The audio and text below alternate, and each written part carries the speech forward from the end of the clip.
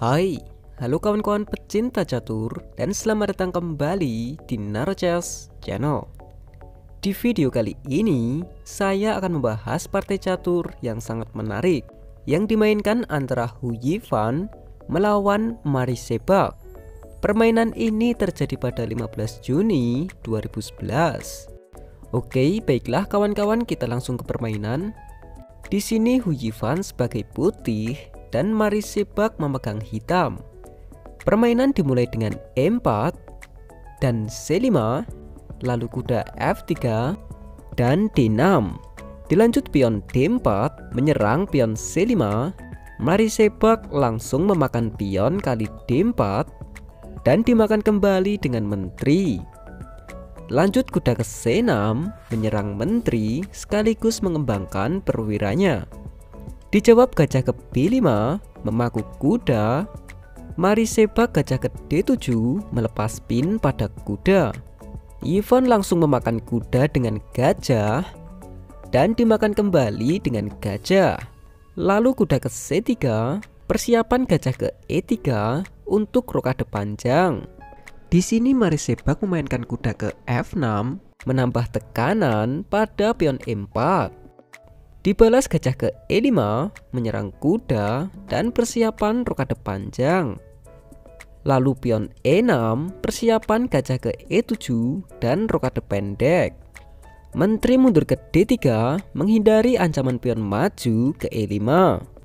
Sudah tentu gajah ke E7 melindungi kuda dan persiapan rokade pendek. Hu Yifan kuda ke D4 mengancam gajah. Dijawab menteri ke A5 memaku kuda sekaligus menyerang gajah. Lalu gajah mundur ke D2 melepas pin pada kuda sekaligus ancaman discover attack dengan kuda menyerang menteri.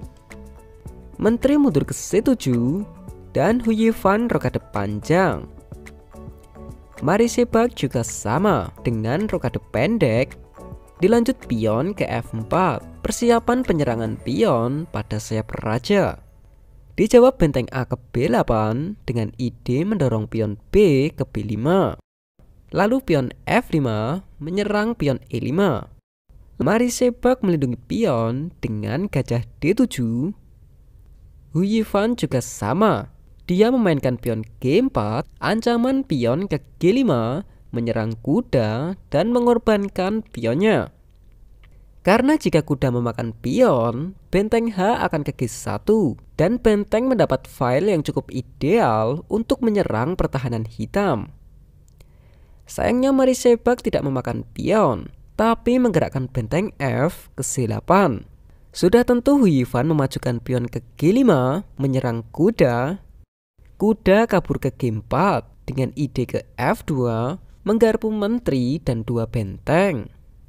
Lagi-lagi Hu Yifan mengorbankan pion dengan menggerakkan benteng H ke F1. Persiapan pion ke F6 menyerang gajah dan pion G7. Coba kita analisis.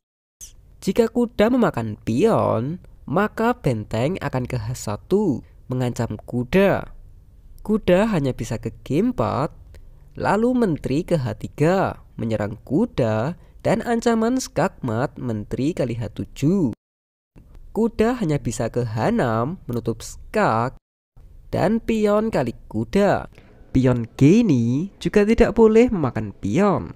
Karena jika pion memakan pion, menteri kali H6 Ancaman skakmat menteri kali H7 yang sudah tidak bisa dihindarkan lagi pion F6 menteri kali H7 skak raja F8 menteri H8 skak raja F7 dan benteng H7 skakmat Oke kembali ke permainan. Di sini Maris Sebak tidak menerima pengorbanan tapi memainkan menteri ke simpat mengadu menteri. Hu Yifan menghindari pertukaran menteri dan mengajak pertukaran kuda dengan menteri ke H3.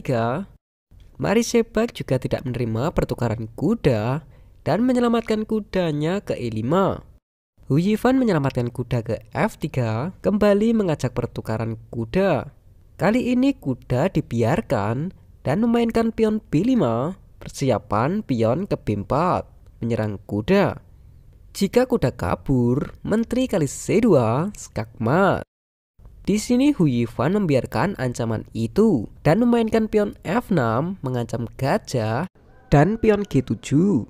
Gajah menyelamatkan diri ke F8 sekaligus melindungi pion G7. Pion G7 tidak dimakan, tapi pion maju ke G6, ancaman skakmat menteri kali H7 dan mengorbankan pionnya untuk membuka file G bagi benteng. Mari sepak memakan pion G6 dengan pion F-nya. Pertahanan hitam salah satunya ada di kuda E5. Hujifan memakan kuda dengan kuda dan setelah dimakan kembali dengan pion, pion maju ke F7, skak. Raja hanya bisa ke H8, lalu benteng ke F3. Coba kita analisis. Perlu diketahui, gerakan benteng ini tidak bisa dibiarkan karena misal saja pion B4 menyerang kuda, maka menteri kali H7 skak mengorbankan menteri raja harus memakan menteri, lalu benteng H3 skakmat. Oke, kembali ke permainan. Jadi mari sebak pion ke H6, mencegah pengorbanan menteri kali H7. Uyifan adalah pecatur wanita dengan tipikal striker. Dia memakan pion H6 dengan gajah. Perlu diketahui, Gajah ini sebenarnya juga tidak gratis karena dia membuka file D untuk benteng yang juga menyerang gajah. Tapi tetap saja, mari sepak memakan gajah dengan pion karena gajah mempunyai ancaman discover skak dengan menteri. Uyifan tidak memakan gajah, tapi memainkan menteri ke game 4, menyerang pion G6 untuk mengancam skakmat di G8 tidak ada kesempatan untuk gajah melarikan diri karena pertahanan raja dalam kondisi yang tidak baik. Dia memainkan pion G5 untuk melindungi pion. Lanjut menteri H5 dengan ide benteng ke F6 menyerang pion H6. Lalu raja ke G7 menjaga petak F6 untuk benteng. Petak F6 sudah dijaga dengan simpel Huyifan benteng ke H3 mengancam skak dengan menteri H6. Raja ke F6 melindungi pion H6 dengan gajah. Dan barulah Huyifan memakan gajah dengan benteng. Mari sepak pion ke B4 menyerang kuda untuk membalas serangan putih. Dan apakah kalian tahu gerakan yang dimainkan Huyifan pada posisi seperti ini jika kalian penasaran, silahkan pause video ini sebelum saya akan melanjutkannya. Oke, sudah. Huyifan memakan pion H6 dengan menteri, skak, mengorbankan menterinya. Raja tidak bisa bergerak, jadi gajah harus menerima pengorbanan dan memakan menteri. Setelah dimakan kembali dengan benteng, skak, Raja hanya bisa ke G7, lalu pion promosi menteri skak, dan di sini Marisebak menyerah. Ya sudah tentu menyerah, karena jika permainan dilanjutkan, Raja harus memakan menteri, dan dilanjut benteng H8 skakmat. Ending permainan yang sangat menarik oleh Hu Yifan, mengorbankan menteri untuk skak dan mengorbankannya lagi untuk membuat skakmat backrank dengan dua benteng. Oke lah kawan-kawan, sekian dulu video kali ini. Jika kalian suka video-video catur seperti ini, silahkan klik like dan juga subscribe channel Narujas ini agar saya bisa lebih bersemangat lagi dalam membuat video-video catur selanjutnya. Dan adanya salah kata, saya mohon maaf. Salam chess lovers, terima kasih.